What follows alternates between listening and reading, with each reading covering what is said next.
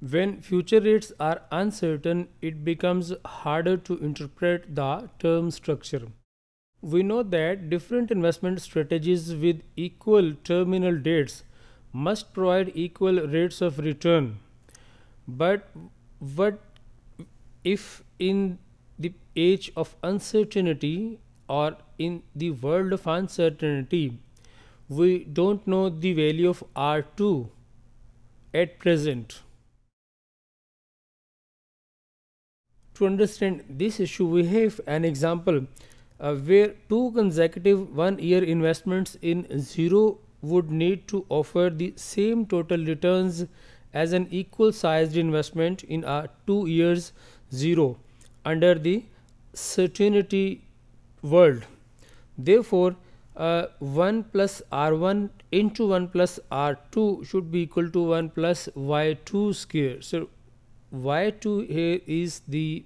yield at the maturity means at the end of year 2 uh, what if r2 is unknown today? So how will determine the value of r2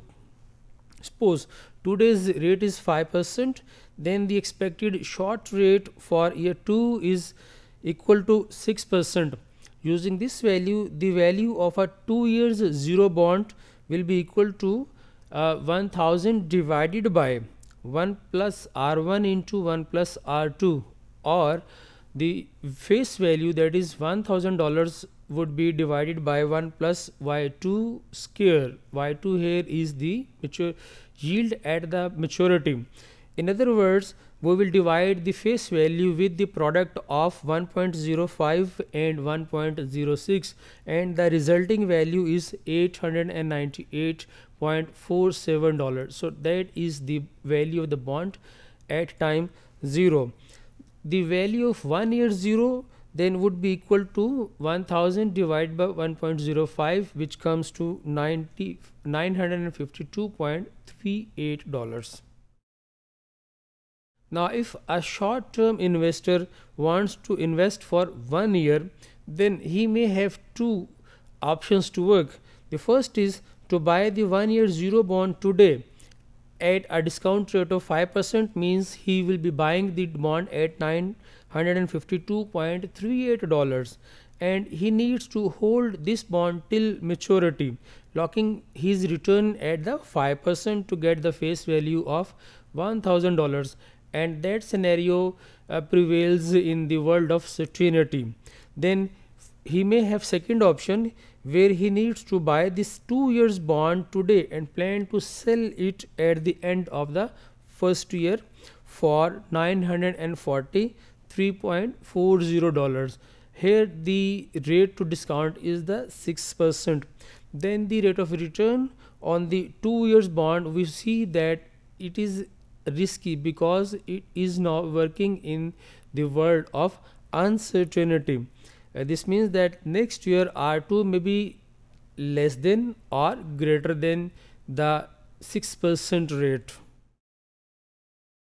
And if the next year's interest rate or I is greater than R2 that is the 6% uh, then the price will be less than uh, 943.40 dollars. And if the next year's rate or i is greater than the r2 which is now 6% then the price will be greater than 942.40 which is at present now. This means that actual return on the 2 years bond is uncertain in this particular case because we are now in this case uh, referring to the world of uncertainty. The in this case ignores the element of risk Short-term investors ignore the long-term bonds unless their expected return exceeds that of the one year's bond return. This means that particular investor requires a risk to hold a long-term bond and that required risk is termed as a liquidity premium. This liquidity premium uh, works as a compensation for uncertain future prices for this particular short-term bond holder.